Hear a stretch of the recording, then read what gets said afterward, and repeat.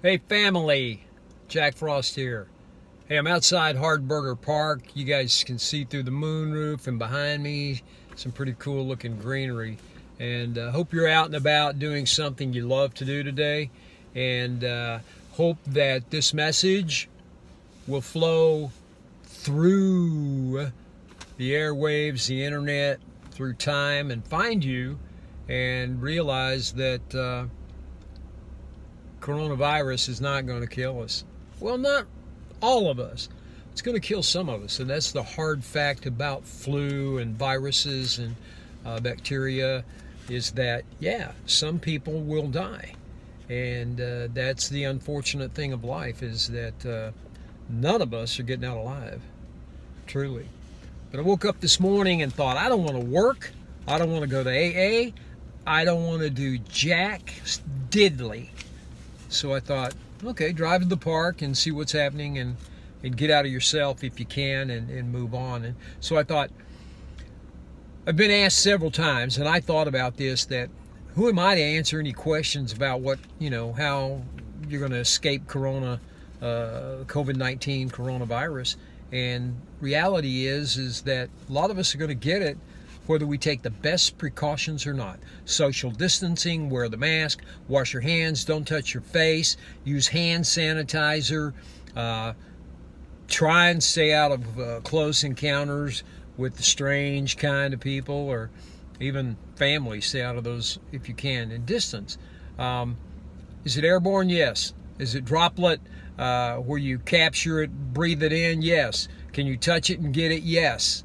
Uh, there's a lot of information out there, a lot of misinformation, but uh, if you can get out to nature, if you can get outside, if you can breathe and enjoy, um, even if you're just sitting somewhere like I am and uh, talking to yourself or someone else, uh, get out, don't isolate, and move on. I want to read a vision for you, tie this into our beautiful program, and if you'll apply it to the corona, there might be some application. So bear with me. I'm reading from my little blue big book that's uh, my mobile lifesaver, literally.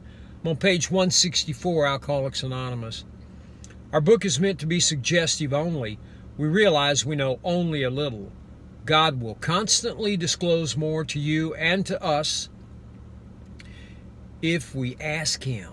Ask Him in your morning meditation what you can do each day for the man or woman who is still sick. The answers will come if your own house is in order. But obviously, you cannot transmit something you don't have, you haven't got.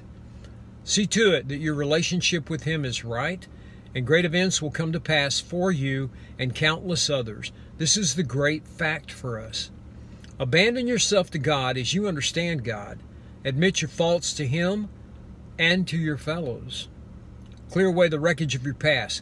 Give freely of what you find and join us we shall be with you in the fellowship of the Spirit, and you will surely meet some of us as you trudge the road of happy destiny. May God bless you and keep you until then.